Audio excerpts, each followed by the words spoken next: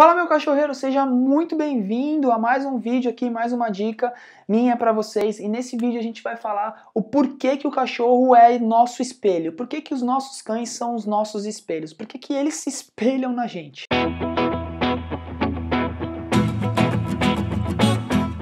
Meu nome é Rafa Leixo, eu sou adestrador e comportamentalista canino, idealizador do Manual do Cão Ideal. E eu vou contar para vocês o porquê que a Scully ela é o meu espelho. Muito se fala que o cachorro tem a cara do dono, né? Em alguns casos eu concordo, tenho a real certeza que isso sim acontece e a gente não sabe explicar o porquê disso.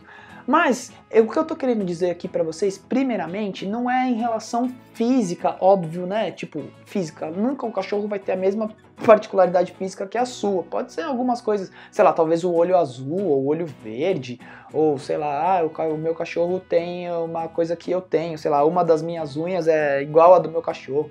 Coisas bestas, tá? Mas não necessariamente é isso que eu tô falando em relação a espelho. Tô falando em relação a comportamentos e a fazer coisas. Vocês que me conhecem sabem que eu sou um cara que curte bastante praticar esporte, né? E, e que, tá, que eu sou muito ativo, então a todo momento, vocês conseguem ver, eu tô sempre me movimentando, às vezes vai para lá, às vezes vai para cá, dá aquela tossida. Então eu tô sempre fazendo alguma coisa. Então se eu fosse um cachorro, eu seria um cachorro completamente ativo. E a Scully, ela é esse cachorro completamente ativo e ela tem particularidades em que se espelham muito comigo. A Scully não é uma cachorra que tem medo das coisas e isso se espelha muito comigo. Eu não tenho medo das coisas, né? Eu não tenho receio das coisas, eu faço as coisas. Tipo assim, se você falar para mim, ó, cara, pula ali que lá embaixo vai ter uma piscina, eu vou confiar 100% em você, eu vou pular.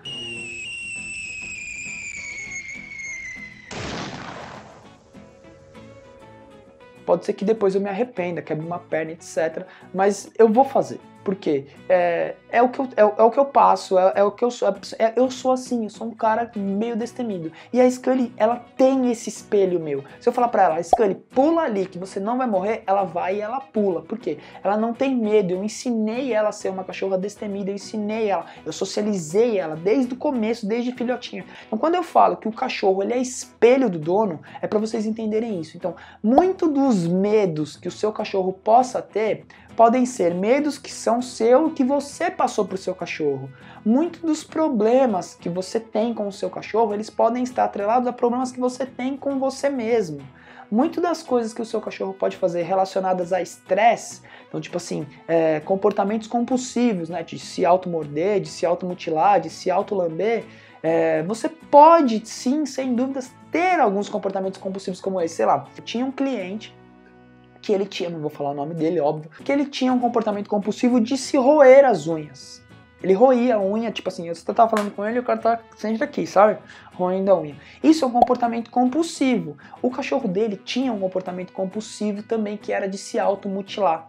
Então, quando ele começou a entender que ele podia passar coisas ruins pro cachorro dele, que o cachorro dele se espelhava muito nele, ele começou a, a, a óbvio, trabalhar, fazer um trabalho para parar com isso, começou a dar um maior gasto de energia pro cachorro, e assim os dois pararam de roer as, as suas próprias unhas, sabe? Entenderam? Então, sempre que eu falar que o cachorro é espelho do dono, você vai sempre tentar se conectar. Então, peraí, por que, que será que o meu cachorro está fazendo isso? Será que faz sentido? Será que eu estou fazendo algo que, que mostre, que demonstre para ele? Muito do perfil do seu cachorro, ele pode estar bem, ele pode ser bem parecido com o seu perfil.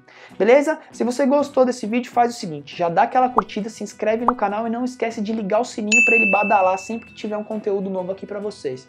Nos comentários você vai escrever para mim: "Rafa, nunca tinha pensado nisso. O meu cachorro é muito parecido com isso que eu faço."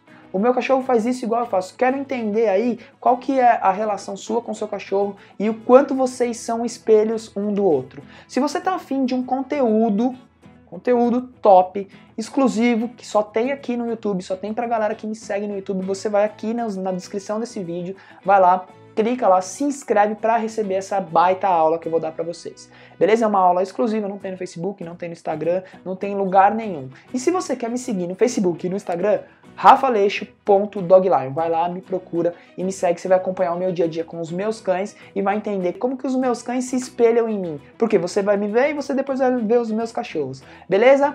Bom, eu fico por aqui então e a gente se vê numa próxima dica, num próximo vídeo.